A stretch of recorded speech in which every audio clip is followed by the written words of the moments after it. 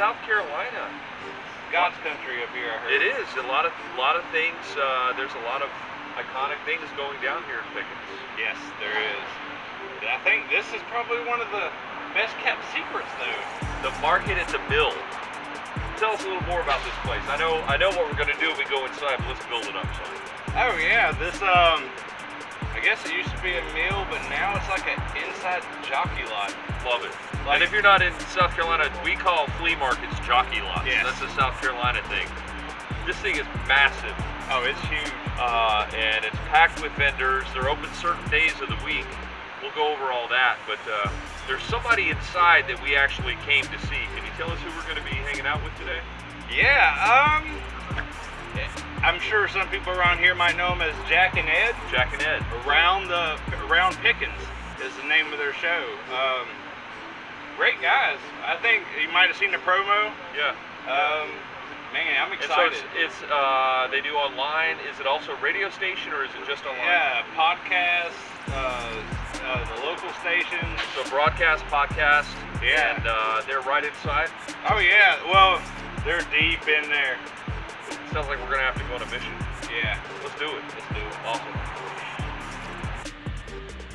Good morning, Pickens. I'm Jack. And I am Ed. We're coming to you live from the Milk Crate Studios high atop the market at the mill. And here's what we have going on Around Pickens.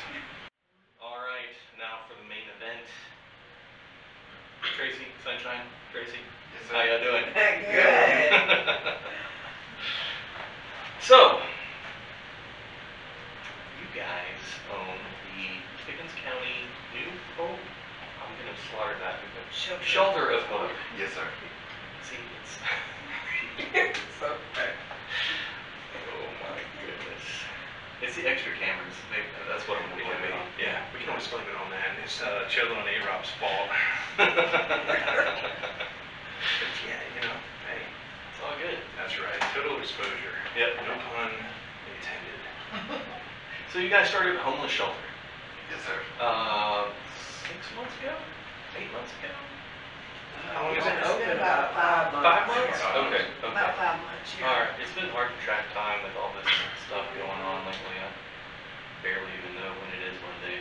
Um, so where did the vision come from to open this homeless shelter? where the vision actually came from my life. Mm-hmm. It's based on my life. Um, like I said, I've been went from uh, you know like a regular child. Then things happened in my life, and it made me like when my father died. It hardened my heart, and I, that's when I turned to the streets. Like I said, go to school, run the streets, as my mama say, ripping and running the streets. But uh, the ripping and running the streets turned into not going to church, but falling in love with the drugs, the alcohol, and just hanging out. Right. And a lot of things happened, like when I witnessed one of my uh, family members get shot and killed. Then I saw my other cousin get hit by a train, and it, it messed me up for life. After it messed me up, we, we kind of moved to Allison, and that's when, and I started doing good for a while Mm-hmm. and my nephew got murdered. And that really messed me up. And I went back to the streets, and when I went back to the streets this time, first time my jaw got broke. And my wife told me, if anything else happened, she gone. Well, a couple months later, the house got shot up and she left. So that's when it went from ripping around the streets and just hanging out to survival mode. And during that survival mode, I caught a lot of charges. And I was on the run from the police, and I went inside this homeless shelter. And it was in Allison, it's called Haven of Rest, and it's based off of, you know what I'm saying, the foundation of God. Mm-hmm. And so I got to find my strength in my foundation of God. I already had a foundation because I grew up in church. But I strayed away after my father passed. Because after my father passed, instead of uh, like a man of God, man of God coming to raise me up as a man, the streets raised me. Right. But anyway, back to the other part. Um, when she left, you know, when you got a good woman, man, and you, she leaves, she takes everything. I ain't talking about taking cars and stuff like that. She take you. Yep. And I lost myself. It started off with small crimes like uh, walking in the Bi-Lo and just making a sandwich just to feed myself. to actually surviving in the streets, that means gang stuff. And I caught a bunch of assault and batteries, attempted kills and all that stuff, and I was on the run. Like I said, I ran into uh, Haven of Rest. They taught me how to take away the drugs and alcohol and put God in my life. And then God started getting on to me. So I turned myself in. When I turned myself in, I was facing 25 to life. But when I turned myself in, they dropped all the charges. But I had to go to prison because while I was doing all these things, I was on probation. So I had to go down the road. But as I was going down the road, I made a promise to God, I, if you keep me safe and let me get out of here without a scar on my body, I will do your will. But while I was in prison, he gave me this vision. The stuff that I went through, now I gotta help others. Right. I said know what you're talking about. But when I got to prison, I didn't let prison change me in a bad way. Right. I got to prison, I got my GED, I got I took all these classes, like church classes and stuff like that. Um, so when I got out, I went back to the Haven of Rest. And I went there for two years. And the whole time I was there, I was looking for my wife. I ain't seen her in eight years. But I come to find out, while God was changing me, he was changing her at the same time. So it was like two weeks before I had to graduate Haven of Rest, she called up. She called and said, no, she want to work things out. So that's when we got together. Nice. But after that, I tried to find my way. I tried. I, I did not want to go back to the streets because I made a promise to God. Right. So we opened up a couple of thrift stores, and this little man kept coming in the store. Come to find out he was a pastor, so he invited us to his church. We went to the church. It wasn't nothing I thought it was. It wasn't but four people. Me, my wife, him, and his wife. but, I don't really a lot of people. And I was asking God what was going on. But he said, just be patient. A couple months later, the pastor died. When he passed the church on to us. Oh, wow. And as you know, a couple months went by, we sitting up, you know, preaching, telling my story. Because the only members we had was people coming out the woods. Because we serve food on Sunday, so they come out the woods. So I was preaching one Sunday, and this guy came up to me and said, I want to change my life. So he accepted Jesus Christ as his Lord and Savior. Mm-hmm. But he said, I got one problem. Now I got Christ, but I live in a crack house. I want to get help. So we put them in our car and we tried to drive them, try to find him help. But in Pickens County at that time, there was no emergency shelter. We got shelters around here, but we don't have an emergency shelter where they can walk straight in. Right. So that's when God laid it on our heart. And we had to go through a lot of battles, but that's when he told me, build this shelter and change lives just like I changed your life. And that's what Pickens County Shelter Hope and Yes. Wow. That's amazing. That's um. Everything works out, you know. If you just just let it go, yes. give it to God, everything always works out. Yes, it does. And yeah, I, I don't know. I can't ever stress that enough. I you know, right? Um, So Yeah, you're talking to a man that went from a drug addict, alcoholic, to the street life, to a pastor. right. And To losing your wife to getting her back. yes, That how, You know, how like. long you were apart? Yeah. we was apart eight years. Wow. Wow. I tried suicide, I tried everything. And I wonder why all these things was happening to me. But he said, all these things are happening just to show other people that they can make it through anything. Right. It's not about me, it's about, everything's about God. Right.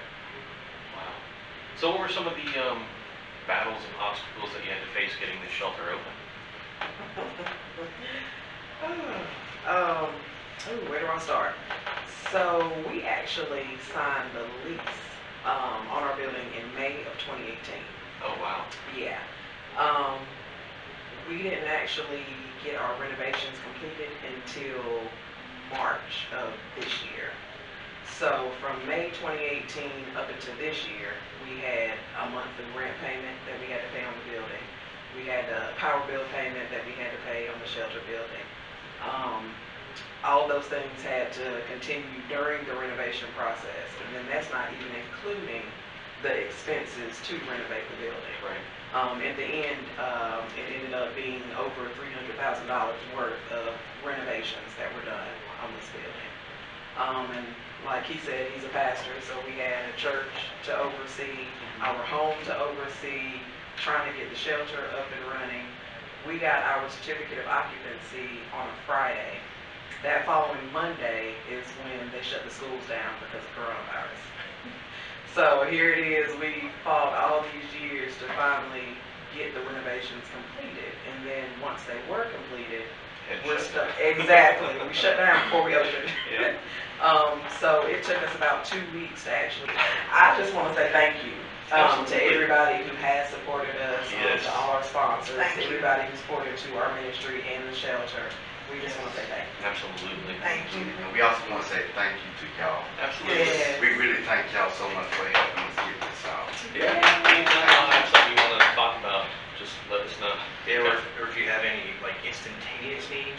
or like this is like a, an oddity that we haven't had before, we have this need right now. Yep. We'll get it out to our audience. You just let us know. We'll get it out, and there we can help. Yep. Awesome. Oh, that reminds me, if you have something, if, if you want to be on the show, we're booked, uh, are we into October now? Oh yeah, we're not. Okay. Uh, so if you got something that you need talked about by the, before the end of the year, get a hold of us quick. Yeah, now is your time. What an amazing visit, Solo. Man, that was amazing. Um, you know we're going to come back, right? Yeah, so we came to the uh, the mill, the market at the mill, on a day when they're not open. So we were teased by walking past all the vendors and the cool stuff they have.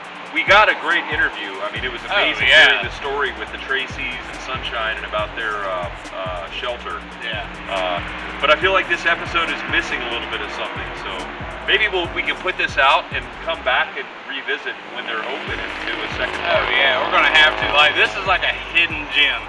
Yeah, I mean, I was- a- it's amazing. There were so many things in there that I was just dying to have, and my wallet probably thanks me that they were closed today. So Uh, we might not have made it to the interview if Yeah. they were open. Yeah, Like, it would have been one of those where, oh yeah, we'll get there, we'll get there, Yeah, record right, everything, but right. we're buying up everything they have here. Huge thanks to Around Pickens uh, for letting us come in and invade their space. Uh, we got some amazing footage. We got to hear an amazing story. Met some great folks, and uh, hope to be back. Actually, I guess we will be back because we're scheduled to be guests in Yes. October. Uh, October, we'll be Yeah. scheduled to come back and be on the Around Pickens with Jack and Ed. So definitely keep an eye out for that. That's going to be a great show also. Heaven only knows what we what upstate culture will have done by October. Gosh, yeah. Yeah, Maybe they'll ban us by then. We'll see. Knowing my luck, yeah, they probably. Yeah, right, yeah, exactly. That's right. they love banning me, but uh, man, another great episode. Yeah, ep- excellent episode. Uh, thank you for tuning in as always. Uh, Josh and I are out there trying to, to get to the sweet spots for you, do a recon, and check it out for you. And again, today we were hanging out with uh, Jack and Ed at the uh, Around Pickens radio show. They're all over the internet. And uh, we'll come back and check out the mill, the market at the mill here in Pickens, South Carolina when they're open. Please subscribe, like the video, and uh, yeah, good stuff, man. I know. I'm looking forward to coming back already. Like, Yep, absolutely, absolutely. Thank you guys. Make sure you subscribe, YouTube, See follow ya. us on Facebook. Yeah, interact with us on Facebook. Tell us what to do. Love you guys. Peace.